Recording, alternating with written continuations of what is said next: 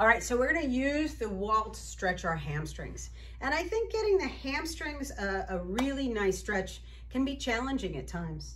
Um, so you're gonna grab yourself, I have a stool, but grab yourself a chair, anything that can help you. I'm gonna take my feet away from the wall, hip distance, a little bit wider than hip distance really. And I'm gonna straighten my legs and I'm gonna press my tailbone into the wall.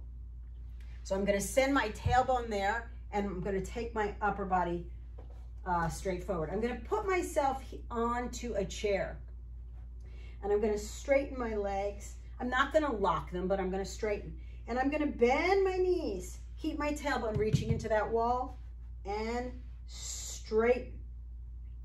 Tremendous stretch through here. Obviously release, now I'm gonna reach, reach, reach those hips. And I feel that stretch through my lower back because when the hamstrings are tight, the lower back is tight. Here we go, reach, reach, reach, hold, and down.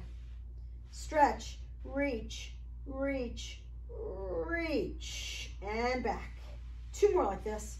Stretch and back. One more. And stretch. Now, if this feels pretty good to you, you can put yourself down on your elbows. Woohoo! Shoulders down, really reaching that tailbone back. If it's too much of the legs straight, soften the knees.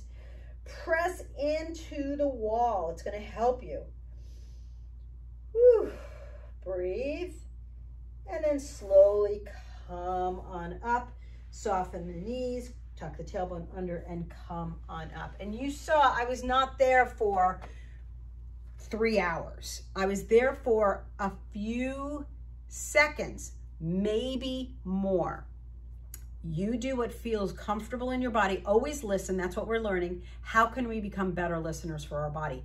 Always listen. But I'm telling you, try this stretch. The wall is your friend. It will help you. It'll make you feel better in your body.